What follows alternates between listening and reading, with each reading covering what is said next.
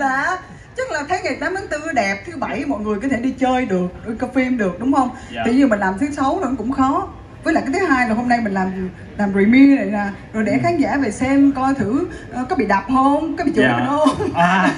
Để coi tình hình như thế nào đã xong rồi khán giả mới cảm thấy là có được thời gian để cảm thấy rằng là mình nên đi xem bộ phim này hay không nữa. Chứ mình ào ào ào vậy coi sao được. Cái thứ hai nữa mở suất nhiều quá mà không ai coi thì sao được đúng dạ, không? đâu có chị chắc chắn là nhiều người coi mà. Em còn thấy câu hỏi này nữa này câu hỏi này rất nhiều các bạn fan chị hỏi chị luôn. Là ví dụ như là trong lúc mà xem bộ phim người giữ thời gian mà em tụi em phấn khích quá. Ok.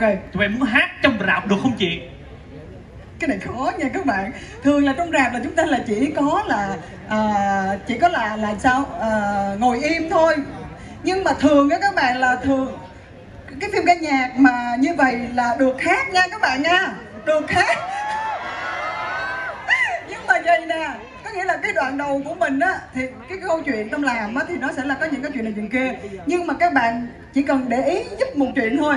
Đó là nếu mà đến cái đoạn giai đoạn mà show diễn ra đó, là các bạn hát thoải mái, đúng không? Còn trước đó các bạn giả bộ im, coi như không thuộc cho bạn, không thuộc hết trơn.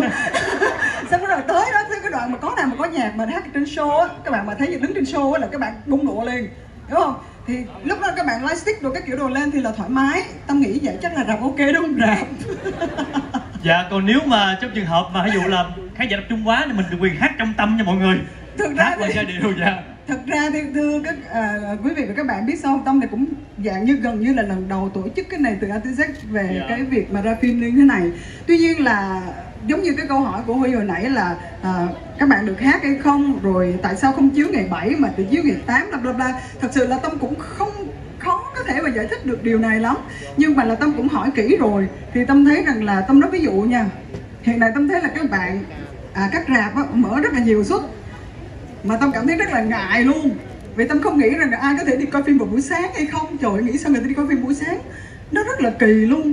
Nhưng mà cái nhiều bạn nói là không đâu chị. Có những người người ta kẹt buổi chiều người ta kẹt buổi tối thì người ta sẽ sáng lại đi. Cho nên là cái chuyện mà mở suất như vậy là bình thường cái mà tâm mới nói là rồi thôi đó thì là chuyện tùy của rạp quyết định. Và ngay cả chuyện ngày mai cũng vậy là chuyện của rạp quyết định. Đôi khi thì mình không có quyết định được. Còn cái chuyện mà hát hò đó thì tâm chỉ xin các bạn một điều nho nhỏ thôi. Đó rằng là những cái đoạn mà nói chuyện phim à, gì đó là các bạn cố gắng im lặng giúp tâm để mình có thể nghe được cái, cái câu chuyện nó như thế nào. Rồi sau đó đến đến đoạn mà hát thì các bạn hãy bung lụa nha các bạn. Và các bạn đừng có quay lại cho các bạn khác xem nha các bạn dạ đoạn này là nốt hạ đầu dòng giùm em. Dạ không lê chim dạ cảm không quay ơn các lại. bạn nhiều lắm. Cảm ơn các bạn nhiều lắm. À, và câu hỏi này